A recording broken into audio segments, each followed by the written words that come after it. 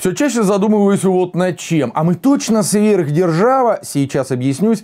Дело в том, что в мире разгорается очередной информационный скандал. На этот раз вокруг ситуации с коронавирусом в России.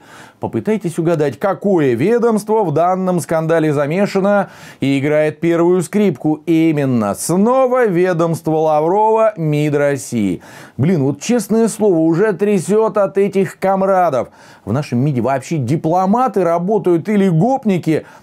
ну да, мы отвлеклись. На днях сразу несколько крупных американских изданий, среди которых Нью-Йорк Таймс, Guardian, Bloomberg опубликовали статьи, в которых предположили, что власти России занижают цифры по числу зараженных COVID-19. Просто предположили, и я могу понять зарубежных коллег, потому что даже я, живя в РФ, не вижу конкретики. Какие-то отмазки постоянно лепят чинуши. Ой, что началось дальше?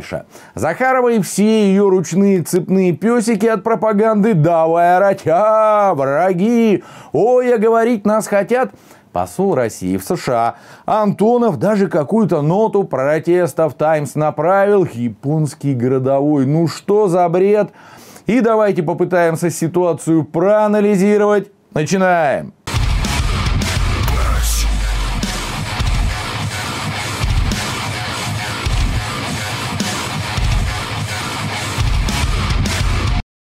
Ну и почему, собственно, меня данная история возмутила? Да потому что я не вижу тут никакой проблемы. Яйца выеденного спор не стоит? Хорошо, допустим.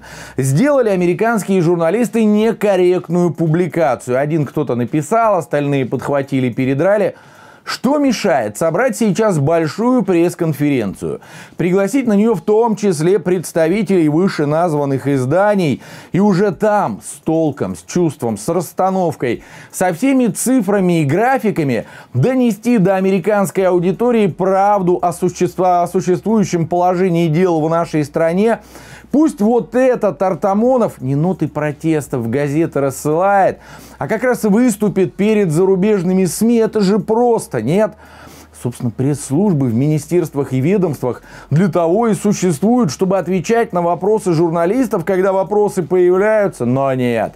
Он и не про Гапарей Лаврова, этим интереснее виск поднимать, планетарного масштаба, хотите знать мое мнение?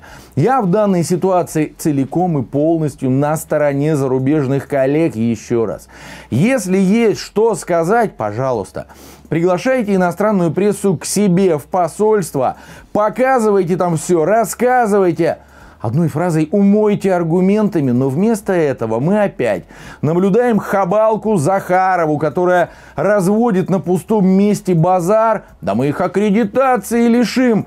Мария, вы забыли прокричать слово «козлы». А если серьезно, ну, друзья, первое попавшееся выступление этой барышни вам продемонстрирую. Вообще первое, что на глаза попалось. Послушайте, как человек общается с журналистами из других государств. Мы со своей стороны, конечно, все я сделаем. Еще, для я того, еще вопрос не задал. Для, а мне этого и не надо. Как это не надо? Я могу говорить и без вашего вопроса. Я вам просто хочу сказать, что это достаточно дико слышать упреки, упреки российской стороне от украинского журналиста, который э, представляет вполне себе э, заряженное средство массовой информации позорище. Действительно Маша Хабалка. И они там все такие. Я уже ничему не удивляюсь, зато элиты. Слушайте, элиты – это те, на кого равняются остальные. Это те, на кого хотят быть похожими дети, когда вырастут. Те, с кого берут пример. Из кого стоит этот пример брать, как вариант – Хочу быть Стивом Джобсом. Создать что-нибудь, чем будут пользоваться люди всего мира, а затем благодаря этому чему-то зарабатывать деньги. Или стать похожей на принцессу Диану, помогать людям, получая в ответ благодарность, уважение. А что у нас? А у нас вечно все с ног на голову перевернуто. В СССР элитами считались часто хамоватые партийные боссы, ага, которые кричали на людях речевки, типа «у нас в стране все равны», а потом садились отужинать и коркой, и осетриной, в то время как простой люд за ментаем в очереди стоял, Затем случились 90-е, и элитами вдруг стали необразованные отморозки с бритыми затылками в спортивных костюмах, что в слове «мама» 8 ошибок делали. Сейчас вот быдловатое нечто вроде Захаровых, Собчак, Бузовых, Песковых в элиты выбилось. Им бы пивом в розлив в сельмаге торговать, а они, вишь, элиты. И меня умиляет то, что российский народ все это принимает. Причем, если бы мы сейчас о единичных случаях говорили, напротив, найти интеллигентного, порядочного, да хотя бы воспитанного человека там, это ведь что-то из области фантастики. А это реальная журналистика. Э, слышь, алло. Тема сегодняшнего выпуска. Короче, о цвете нации говорить будем. Поехали. Кстати, свежий анекдот подвезли, ну как анекдот, конкретная история. Министр здравоохранения Нижегородской области назвал протест медиков из-за отсутствия путинских надбавок за коронавирус отрежиссированной заказухой и провокацией. На Медне в Сармовском районе случилась буча. На тамошней подстанции скорой помощи собрались сотрудники и попытались выяснить у руководства, а где обещанные президентом надбавки в 25 и 50 тысяч рублей за работу во время карантикул. Напомню, люди пахали в несколько смен, без выходных и проходных. Главный за это пригрозил вознаграждением. В итоге режим самоизоляции вроде как сняли, но денег не дали или дали, но существенно меньше. Вот медики и пришли потребовать ответа. Сами уже догадались, да что случилось дальше. Да послали их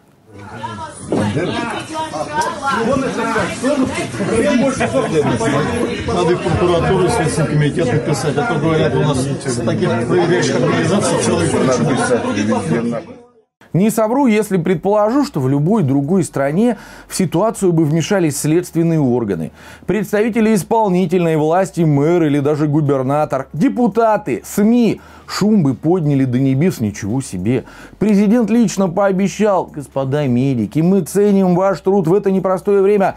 Спасибо вам за вашу самоотверженность. Будут премии, а его вассалы зачем-то просто отмахнулись от тех медиков типа обрысь, хотя нет, вру.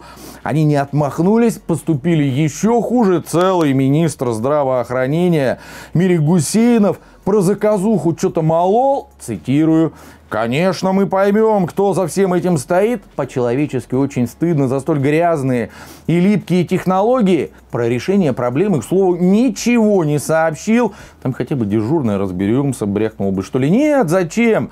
Да и кому оно вообще надо проблему решать? Обманули людей, что в первый раз, что ли?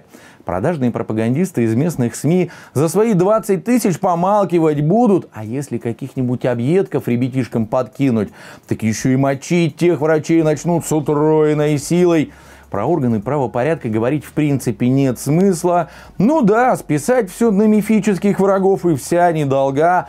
Мало ли их у нас, этих врагов. Американцы, украинцы, страны НАТО. Даже пингвинов антарктических при желании можно прикрутить к данной истории. Кстати, давно уже жду, когда же Прокопенко с Пушковым начнут нести ахинею из разряда пингвин. Это боевая единица чьих-нибудь спецслужб. Чую, дождусь.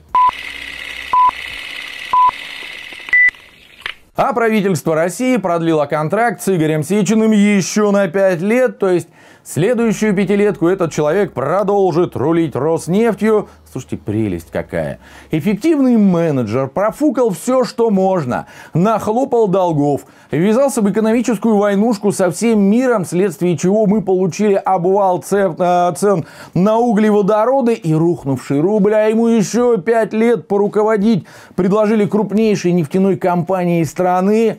Видимо, следующим достижением Игоря Ивановича станет полное банкротство компании. Прошу вас отнестись к этому с пониманием.